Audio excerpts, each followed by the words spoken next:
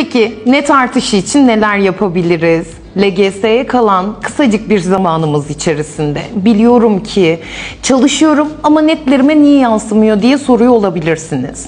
Bunun için öncelikli olarak bir disiplinli çalışmak, ikincisi inanın sabrınızın sonuna kadar kullanmanız gerekiyor. Ee, bu süre içerisinde net artışını ilk bir hafta çalıştım hemen ondan sonra verimini alayım demek yerine aksine deneme sınavlarında neleri yanlış yapıyorum, hangi konularda eksiğim var, hangisini tekrar etmem gerekiyor sorularını sorduğumuzda alacağımız cevaplar bizi hedeflerimize bir adım daha yaklaştıracaktır. Net artışını sabırsızlıkla beklediğinizi, hala çalışıp da neden netlerim artmıyor diye sorduğunuzu biliyorum. Bu maalesef sizin kaygı seviyenizi de etkiliyor. Bizim için en önemli olan durumlardan bir tanesi kaygıyı kontrol etmektir. Kaygıyı ortadan kaldırmak gibi bir çalışmamız ya da çabamız yok.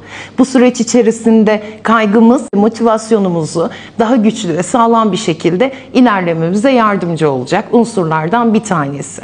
Süreç içerisinde net artışını yapabilmemiz için paragraf soru çözümlerine, kitap okumalarımıza lütfen çok önem verelim. Bunlar bizim için bir lüks değil, ihtiyaç. Konu tekrarlarımızı, branş denemelerimizi ve tam bir prova olan LGS denemelerinde